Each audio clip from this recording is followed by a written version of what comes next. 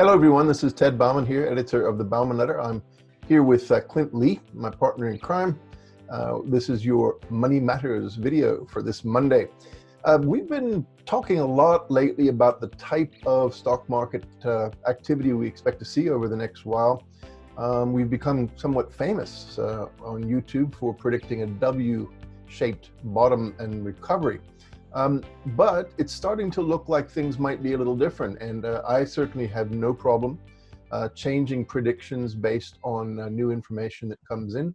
Um, that's what any rational person should do. Uh, and it's beginning to look like we could possibly see a U-shaped process rather than a double bottom. Now, that doesn't mean we won't see a lot of uh, spikes and dips as we go along, but uh, what's looking like a, a current um, sort of over overblown, irrational, if you like, market um, may actually turn out to be just a long, slow decline that finally bottoms out sometime in the future. Now, um, that uh, is certainly a possibility too. So today we thought we would talk about um, the, factors behind what's going on, and we're going to start with the fact that the stock market is, by historical standards and by anybody's reasonable uh, statement or, or, or um, you know, thinking it's overvalued, right? Clint, why is it overvalued? Tell us uh, the facts. Yeah, I think uh, one of the first things to look at is the indexes that are that are always in the headline, um, that are close to their prior highs. Actually, when you look at the Nasdaq, the Nasdaq's uh, I think up now year to date, but you know, a lot of what's going on is that these indexes, the, the leadership is relatively narrow. It's a lot of, especially larger cap tech names, especially the names. And when you look up their market caps, they got the word trillion in it. Um, these are the ones driving a lot of the gains here year to date. And kind of illustrate why this is important. Uh, when you look at a something like the S&P 500, that is a cap weighted index. That means the larger stocks make up a larger portion of that index. So for something like the S&P, the 10 largest stocks actually make up about 26% of that index. Mm-hmm. S&P 500 was just an equal weighted index. Um, each stock would only be about 0.2%. So that means the 10 stocks, any 10 stocks would make up about 2% of the index. Uh, so I want to illustrate this point now with the chart. I want to show you this chart year to date. Uh, this shows the S&P 500 index, the, the cap weighted one. That's the best performing thing on here. It's down about 11% when you take that same index, the S&P 500, and you will look at it through that equal weight lens, that index is down about 19%. So the average stock is faring much worse uh, than the larger cap names.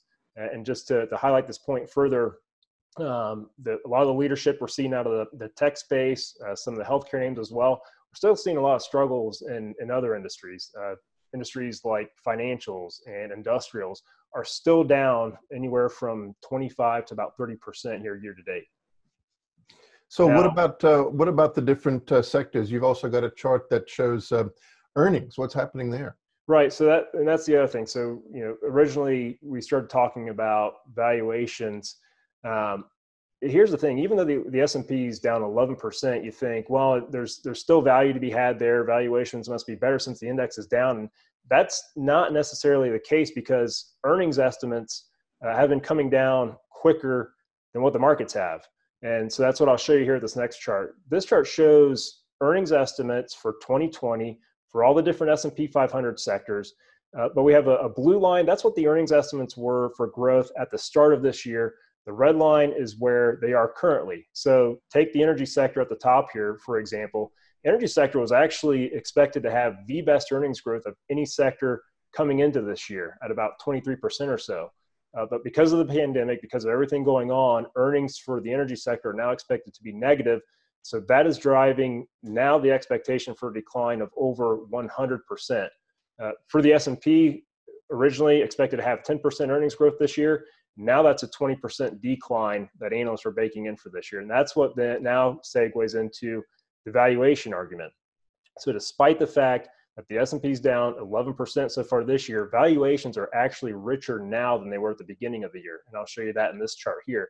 This chart shows the S&P, which is the blue line year to date, but this gray dash line is that PE ratio. And as I mentioned, that PE ratio has moved higher uh, from where it was at the start of the year to about 21 and a half times or so uh, despite the fact that the index is down, is because earnings estimates are coming down even quicker.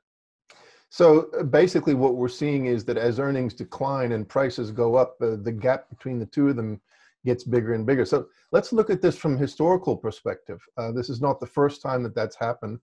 Um, I've got a chart here I want to show with you, and basically it um, it covers the stock market really going back to the very beginnings of the U.S. stock market, and you can see that historically there have been times that green line when uh, the the long-term price earnings ratio, a moving average of of uh, price earnings, uh, has peaked, uh, and two of the most uh, tallest peaks 1929 and 2000. Those were two of the biggest stock market crashes in U.S. history.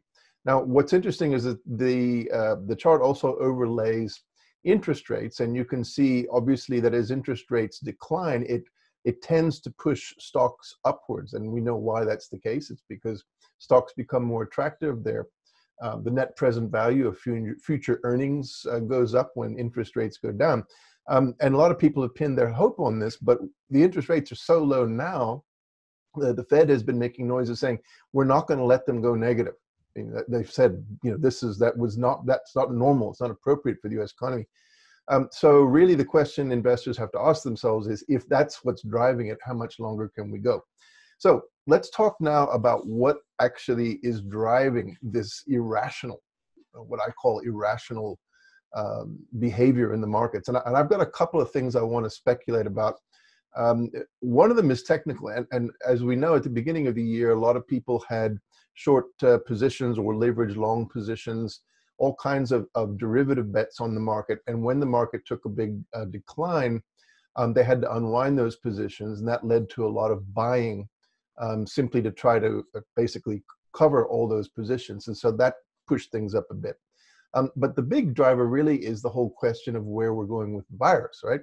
And here, my gut feeling is that people are overreacting. They're expecting miracles from the scientists uh, uh, out there trying to come up with treatments and vaccines. Um, they they read any good news out of any big city around the world as meaning that this is all almost over. But what we're seeing is that it's popping up in other places, and you know, the long term trajectory is not going down in the United States. It's actually not even plateauing. Uh, it, it's it's continuing to go up. Then of course there's the stimulus, uh, but we know that that's uh, not working well for everybody, and it's you know it's only meant to last a couple of weeks really. Uh, then we've got the Fed pumping in. Um, but as you mentioned earlier, a lot of it has to do with things like the weighting of the indexes and the kinds of companies that are overrepresented in the indexes. Um, so it all comes back to the question now of fundamentals. And fundamentals are really, you know, the question of what kind of earnings are we going to see going forward, and what kinds of, uh, you know, prices going forward. And that's where the question of the U-shaped versus W-shaped comes in. My take is that the uh, the average investor is looking at the situation, uh, is really hoping that, that this is going to go back to where we were before with this exuberant 10 year bull market. And so they're grabbing onto any shred of information that seems like it's going to be a positive thing. Meanwhile, behind the radar screens, the economic data just keeps getting worse and worse and worse and worse. Now, we have really three months to go before quarter two's data comes out. So my gut feeling is that maybe we will end up seeing a market that jags back and forth, uh, you know, probably at a fairly stable level uh, over those three months. But then as things start to come clear, it'll start to decline. Maybe not a sharp decline, but people are going to get, they're going to say, look, I would rather be in bonds right now. I'd rather be in cash. And that will lead to a long term, slow U shaped thing. So let's look at some of the facts behind this. I'm going to show you a, a series of charts to back up my argument.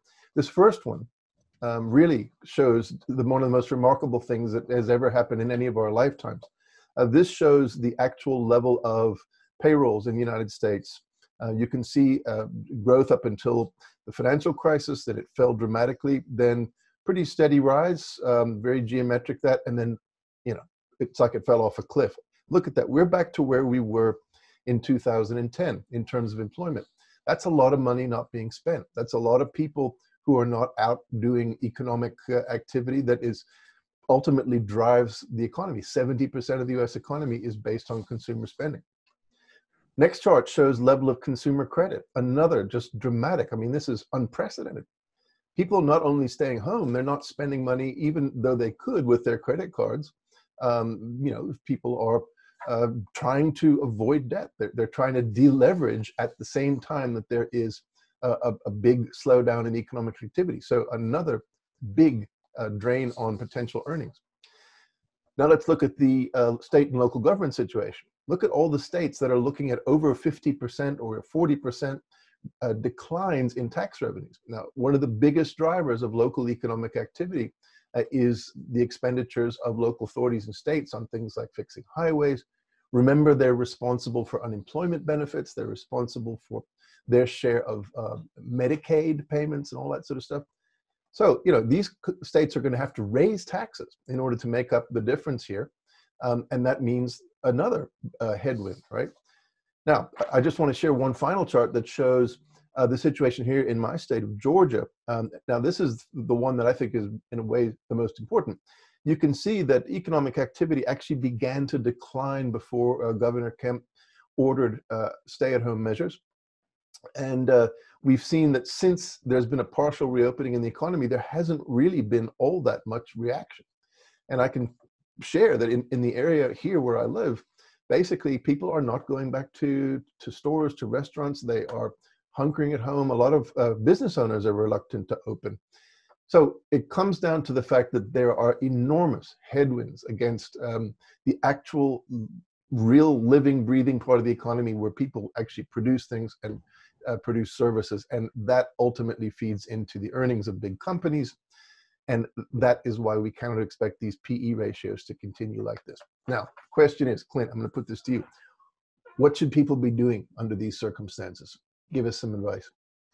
Yeah, so you know, let's this entire shows about what to do with our stock portfolios, right? So, you know, when you look at your stock portfolio, if you've been if you've been able to participate in the gains that we've had off the lows, um, simply consider taking some of your profits. And that, I'm not saying sell your entire position, but simply take some of the profits uh, that you've had from this rally because as you, as you pointed out, Ted, mm-hmm. uh, the future is is very uncertain. Uh, we don't know what the markets are going to do from here, but um, as, as the numbers indicate, there's still a lot of uncertainty and apprehension um, about seeing the economy rebound very quickly and how that's going to play out via the stock market. So take profits if you have them. Uh, the other thing I would point out too is to go through your portfolio and start to sort out sort of the, the haves versus the have-nots within your own stock portfolio. I think you know that, that's what happened. Uh, that's what's been happening on this recent rally is that when we had the decline, uh, whether it was because of leverage and derivatives, but the the panic selling that we had saw you know virtually all stocks participate in the downside. But then as the dust settled, uh, investors have been going through looking at well who's who's healthy enough to, to weather the storm or who is in an end market or an industry that stands to benefit from this do the same thing within your portfolio. Go in and look at the, the haves versus the have nots the companies that are either liquidity stable you know or stable enough to to weather the storm or uh, perhaps they're in an industry that's going to see a, a benefit uh, from what's going on. Maybe that's something like online retail um, or, or a cloud infrastructure type provider because look entire industries are being upended by this. You know we've seen it in the retail sector brick right. and mortar um, so I want, to, I want, to, stop interrupt you there and just re- remind uh, viewers that we recommended in the bauman letter. Uh, over the last couple of weeks we've we've published some etfs that we believe have uh, particular growth prospects in this respect things like the you know the online sector. And that's precisely i think what lies behind it is this notion that um, there are some sectors that are uh, not just immune, but actually will benefit. The problem is that that is not the entire stock market, it's not the entire economy. So, um, what about companies that have the financial strength and are providing things that everybody else needs? If you had to choose between two, which uh, how would you make the decision? Would it have anything to do with dividends, perhaps? Oh yeah, absolutely. Um, so what one of the things you mentioned earlier was this low rate environment and even speculation that the Fed could take rates negative. I mean, this is an absolutely punishing environment for savers, uh, especially those that are nearing retirement that have saved up a portfolio of assets that need to generate income from those assets. I mean, you've got short-term rates at zero right now. You've got 10-year yields hovering right around 0.7%. Uh, it's just an absolutely horrible environment to try to generate safe income, especially uh, from your holdings So people are considering the alternatives. And yeah, I mean, it's, it's natural to want to look at, at equity investments to generate income from, but you have to be very discerning in this environment, uh, considering the, the, company's end market, but then its financial strength as well. You know, what, what's its liquidity profile? What's its right. cash on hand, ability to, to tap credit facilities, uh, just to make sure that with all the uncertainty, they can weather the storm that's ahead of us. So it's, uh, you know, a little bit of a tooting our own horn here, but the next Bauman report uh, that's coming out, actually, we've identified a company that we believe uh, fits the bill that you've just uh, sketched out. And you know, the interesting thing about these dividend-paying companies is that because they do have this higher yield, um, they they tend to attract investors once people realize that that's where the safe haven is. And so right now they're still relatively cheap, so yields are relatively high. But if you if you get into them now, you lock in those low yields on cost going forward. Uh, and you know, by our calculations, um, a company like this one that we've been looking at, um, within three to five years, you could be looking at double-digit yields on cost. In other words, given the growth of the, the company's dividend, given the price at which you can get it right now, in a couple of years' time, you could be getting a 10% yield on your investment if you, you know, if you buy at the right times.